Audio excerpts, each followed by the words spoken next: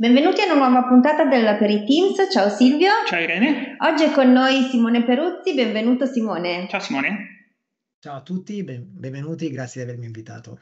Eh, Simone, mh, mm, tu sei il nostro esperto di security, uno dei tanti esperti di security che, che invitiamo durante i nostri eventi. Eh, con te vogliamo ritornare su un, un, tema che abbiamo trattato in passato, ma che eh, chiaramente, come tutti i prodotti Microsoft, ogni giorno ce n'è una nuova, ed è Microsoft Defender for Cloud, una soluzione che ehm, sta diventando sempre più importante all'interno dell'ecosistema di Microsoft, sta diventando sempre più multi-cloud, sempre più cross-platform, quindi la domanda proprio del popolo è ci spieghi perché un'azienda dovrebbe passare a utilizzare Microsoft Defender for Cloud e, ta- e che cos'è anche?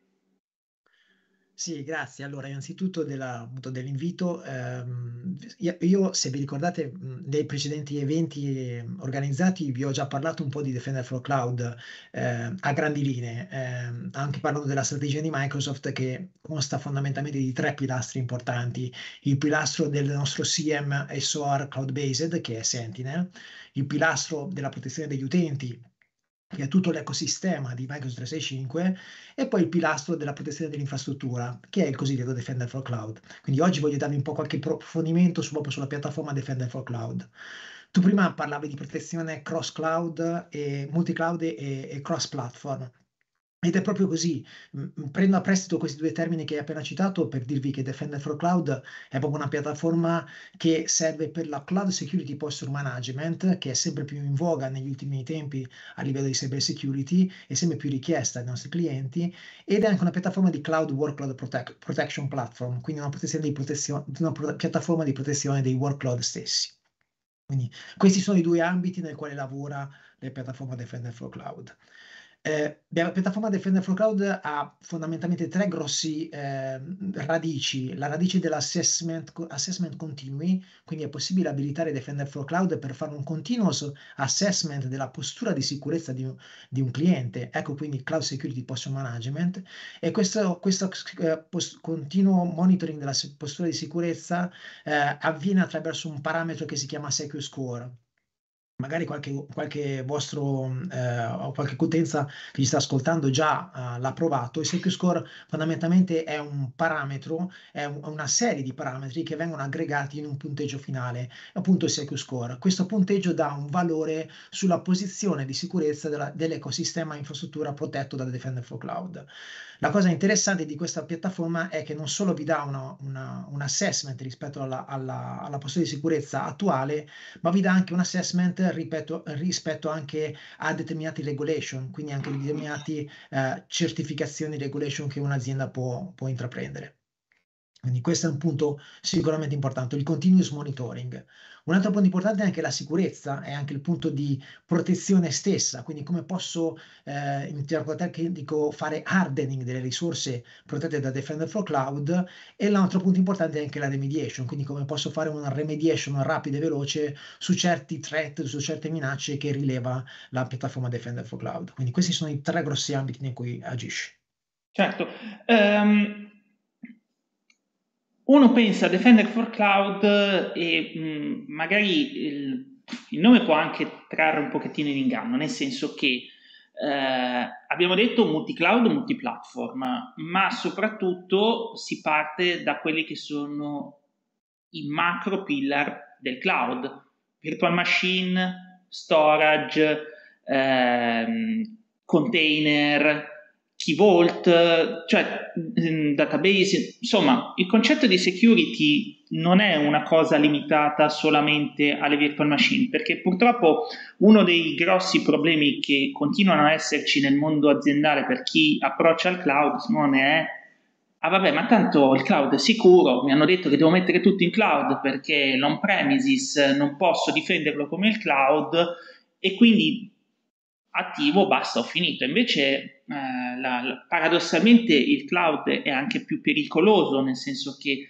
è un veicolo molto più grosso, insomma, eh, più grande diventi, più in vista sei e più eh, vieni eh, attaccato giornalmente. Quindi eh, anche da questo punto di vista proviamo un attimino a spiegare alcune delle sottofunzionalità di Defender for Cloud, magari per le virtual machine piuttosto che per, per gli altri componenti cloud. Sì, assolutamente. Ehm, quello che dicevi prima della cloud è, è- è- verissimo. Eh, alla fine, paradossalmente, eh, se non, non correttamente configurato, è anche meno sicuro della, dello stesso ambiente on-premise. Eh, e questo, questo punto importante è sicuramente, eh, può avere un senso abilitare il secure score e quindi il parametro che vi dicevo poc'anzi, quindi il punteggio che vi dicevo poc'anzi, perché quello si basa proprio sulle security recommendation, sulle best practice Microsoft che vengono applicate al contesto attuale del cliente, quindi al contesto del tenant Azure che si viene a trovare il cliente.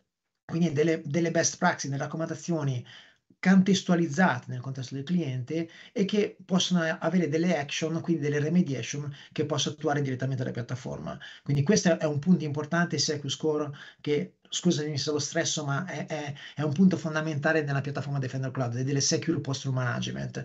Ed è un'altra cosa importante, è un punto che possiamo abilitare anche ora, cioè tutti i clienti che hanno, hanno una sottoscrizione Azure possono già abilitare Defender for Cloud, la versione gratuita, e già iniziare a verificare qual è la sua security posture.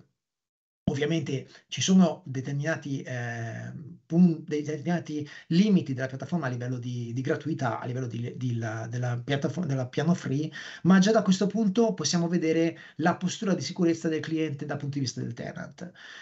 Altro punto importante, i workload, perché come dici tu abbiamo la, il mondo cloud, ma abbiamo anche tutto il mondo on-premise, abbiamo tutto il mondo multi-cloud. Un punto importante della piattaforma Defender for Cloud è che soprattutto su alcuni workload, come ad esempio i workload dei server, posso uh, abilitare una protezione multi-cloud e anche ibrida, quindi posso proteggere ambienti Google Cloud e ambienti AWS direttamente con delle API, quindi posso richiamare delle API che Google Cloud e, e AWS mettono a disposizione per andare a richiamare la sicurezza di queste macchine su altri, altri cloud e andarli a vederle sulla dashboard Defender for Cloud, quindi un'unica dashboard olisticamente per poter andare a visualizzare tutti i miei server che sono su tutte le mie piattaforme multi-cloud. Oltre a questo c'è il mondo on-premise, quindi la, il mondo ibrido. E qui gioca un punto importante una tecnologia, una tecnologia, che magari qualcuno di voi o anche, anche tu avrai letto in passato, eh, si chiama Azure Arc. Azure Arc è un, fondamentalmente una tecnologia che ci permette di poter visualizzare delle macchine on-premise sulla piattaforma, sul, sul dashboard di Defender for Cloud, quindi sulla dashboard Azure, e da lì poter abilitare tutti i criteri di protezione che citavamo poc'anzi, quindi la protezione sulla parte dei server, quindi Enterprise Detection and Response, quindi non solamente un classico antivirus, ma andare anche a, a fare una remediation, a fare una detection di minacce di, anche avanzate e andarli a, a visualizzare direttamente sulla dashboard. Quindi questo è tutto quello che riguarda il mondo di multi-cloud e ibrido. Tu, oh, come dici? No, tu poi hai tirato su subito, la, hai alzato la palla, anzi la palla, io sono alto, schiaccio facilmente, hai parlato di macchine virtuali, hai parlato di Azure Arc e quindi io ti darei quasi il gancio per parlare di eh, Microsoft Defender eh, for Endpoint, nel senso che eh, protezione non può esistere se non abbiamo una soluzione di EDR all'interno delle, delle, nostre macchine e da questo punto di vista l'utilizzo di Defender for Cloud può abilitare, perché condizionale è d'obbligo, ma dal mio punto di vista dovrebbe essere mandatorio, può abilitare l'utilizzo di Microsoft Defender for Endpoint per andare a proteggere i server in modo avanzato utilizzando il piano P2, quindi qualcosa di veramente avanzato che ci fa response e detection, come hai detto tu, che ci fa l'assessment che ci fa tutta una serie di cose eh, in, modo, in, modo, avanzato. La, ma la particolarità di questa soluzione è che poi è tutto integrato, nel senso che quando noi attiviamo Defender for Cloud, lo andiamo a, a, a, a installare sui nostri oggetti attraverso Azure Arc, diventa tutto semplice perché è tutto automatizzato, quindi non ho n installazioni da fare, eh, n configurazioni da fare, ma viene tutto quanto pilotato e magari, come hai detto tu, integrato con Sentinel mi porto dentro i log e ho subito una posture in tempo reale di quello che succede. Sì, sì, allora eh, voglio anche chiarire qualche aspetto perché chi ascolterà poi questo, questo video è importante che mi piacerebbe che rimanesse qualche messaggio. Il primo messaggio, come dicevamo prima, Defender for Cloud è una piattaforma di cloud security posture management, quindi vi dà una posizione di sicurezza dal punto di vista della vostra infrastruttura. Secondo punto importante, Defender for Cloud è una piattaforma che protegge i server, e adesso cito giusto due, due parole sui server, ma protegge anche altri workload, come dicevamo poc'anzi, quindi anche tutto il mondo della, della, del, dei data services, tutto il mondo della rete, tutto il mondo dei containers, quindi containers anche su, una, su un ambiente AWS, tutto il mondo della database, ecco, database intendo so, non solo SQL, ma intendo anche Azure SQL, intendo MySQL, intendo anche database non propriamente Microsoft, quindi questo è un punto importante. In, Defender for Cloud poi ha una protezione anche sul mondo dell'OT IoT e quindi anche tutto questo mondo può essere protetto uh, direttamente attraverso la piattaforma Defender for Cloud. Quindi è importante indicare che non c'è solamente la Defender for Cloud non è solamente per la protezione dei server multi-cloud e ibrido, ma anche per la protezione di altri workload. Sul mondo dei server sicuramente ha una marcia in più. Perché la marcia in più? Perché può richiamare, come dicevi giustamente tu, le, le, il Defender for Endpoint che utilizziamo sul, sul mondo dei client, andandolo ad applicare sul mondo dei server e ovviamente andandolo a espandere. Perché? Perché ovviamente il mondo dei server ha delle, delle esigenze molto diverse del, di protezione dal punto di vista uh, rispetto al, al, mondo dei client. E quindi ad, andiamo a abilitare delle funzionalità come ad esempio dei vulnerability assessment continui. Posso lanciare dei vulnerability assessment sui server attraverso Defender for Cloud. Anche perché abbiamo, avuto, abbiamo fatto una partnership con una, un provider importante che è Qualys. Altro punto importante il file integrity monitoring che è una funzionalità che diciamo pochi, non tanti conoscono, però è una funzionalità che spesso e volentieri si trova, eh, si, per, per, per, trovarla bisogna acquistarla con prodotti di terze parti. Fare integrity monitoring fondamentalmente va a, fare, va a fare un monitoraggio continuo dell'integrità dei file, né più né meno. E questo è un punto importante perché nei server è fondamentale andare a monitorare continuamente questa integrità perché se ovviamente man- manca questa integrità vuol dire che c'è stata qualche azione malevola, qualche manomissione dei server. Questo File Integrity Monitoring, come dicevi tu, è all'interno di un piano di Defender for Cloud for Server chiamato piano 2. Quindi è, è un punto importante come tante funzionalità. Certo. Quindi eh, diciamo che se vogliamo un pochettino ricapitolare, Defender for Cloud è una soluzione multi-cloud e cross-platform, quindi si integra con chiaramente Microsoft, si integra con AWS, con GCP, funziona su ambienti Windows, funziona su ambienti Linux, funziona ovviamente in ambienti Kubernetes, indipendentemente dal sistema operativo, indipendentemente da dove si trovi, on-premises e in cloud, quindi ibridazione totale. Però la domanda, la domanda è, sempre è sempre quella. Dato per scontato che ormai è ci hai convinto esatto. e quindi è una soluzione che ogni azienda deve avere a bordo. Eh, io che non ce l'ho, a che costi vado incontro?